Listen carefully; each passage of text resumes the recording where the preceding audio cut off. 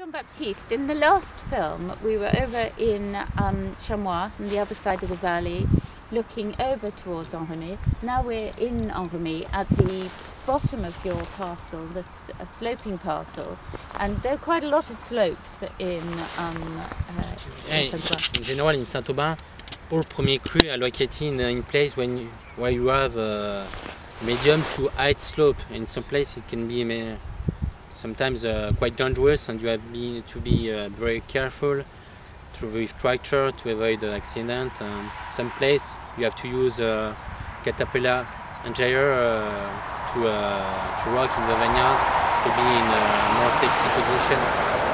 This is a, a, a tractor, as it were, with a, um, the tank-like uh, Yeah, um, it's tracks, a caterpillar and uh, the advantage of this kind of uh, gear is that the the point of gravity uh, is lower and you, and you are going uh, uh, through uh, one wall between uh, two, uh, two, uh, two line and you uh, don't have to, uh, to be up the line.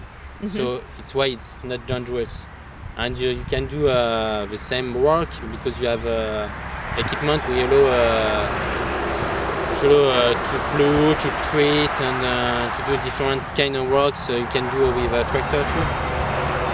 And I was just looking, they saw here um, this isn't your parcel, um, but that has uh, um, already been ploughed. And you were saying when your when your section has been ploughed, these white stones will be much more obvious, and these are quite a white soil. Yeah, it's quite white stone, and you have a lot of lime of uh, stones on this place. It's why you have uh, quite important reflection of the sun, on the stone. It's why it's uh, already because of uh, southwest exposure. It's a quite warm climate.